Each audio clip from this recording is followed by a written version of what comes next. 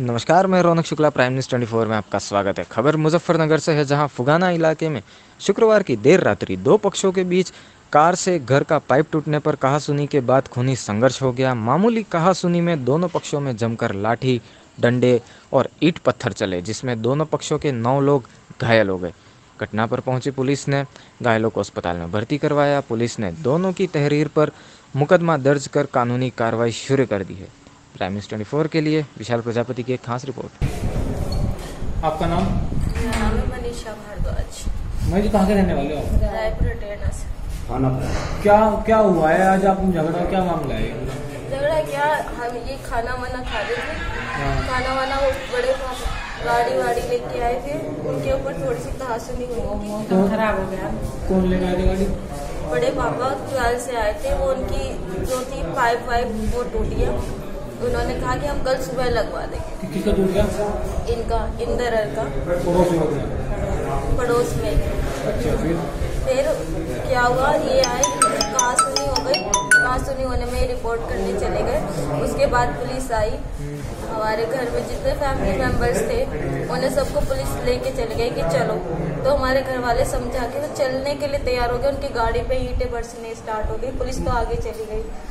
पूरा मामला? पूरा मामला ये था जी हमारे भाई साहब गाड़ी लेके गए थे घर। जी।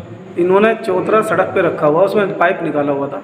तुम्हारे पड़ोसी ने? पड़ोसी ने। अब वो टूट गया पाइप। हमारे भाई साहब ने कहा सुबह लगवा देंगे भैया। उन्होंने सौ नंबर कॉल कर दिया। सौ नंबर क्या रईस पाल जी को बुलाया उनका हथियार रईस पाल है वो रईस पाल अच्छा बुरा गाँव में कुछ देखते नहीं है। बस एक फ़ोन कर देगा अशोक। अशोक लड़का है राम कुमार का। एक फ़ोन करता है रईस पाल जी को अच्छा बुरा वो देखते नहीं घर जाते उठा के ले आते हैं।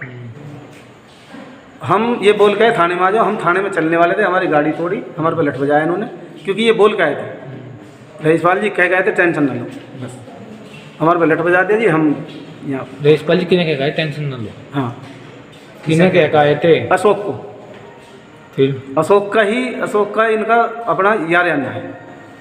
अब पता नहीं वो कैसा यार अन्य है तो ये जाने। अब क्या चाहते हो आप? हम चाहते हैं सही कार्रवाई हो जो जायज़ है वो है। पुलिस कम से कम वहाँ जाके तो देखे तो क्या हुआ किसकी गलती किसकी निगाहों से पूछे। पूरे परिवार ने लट बजाया हमारे ऊपर। अच्छा। पूरे परिवार ने पूरे परिवार के पचास आदमी थे वहाँ लट बजाने वाले। पथराव की वीडियो क्या वीडियो सर कहाँ की वीडियो क्या प्रमाण फुगाना थाना क्षेत्र के अटेरना गाँव में एक ही खानदान के दो पक्षों के बीच में गाड़ी निकालने को लेकर के आपस में विवाद हुआ। दोनों पक्षों में झगड़ा हो गया। तत्काल पुलिस मौके पर पहुँची जिन्हें चोट लगा था उन्हें हॉस्पिटल भेजा गया है और दोनों पक्षों से अभियोग पंजीकृत कर लिया गया है और अग्रिम कार्रवाई की जा रही है। सर कितने लोग घायल हुए हैं? छः सात लोग घायल हैं बाकी के बारे में जानकारी की जाए ठीक है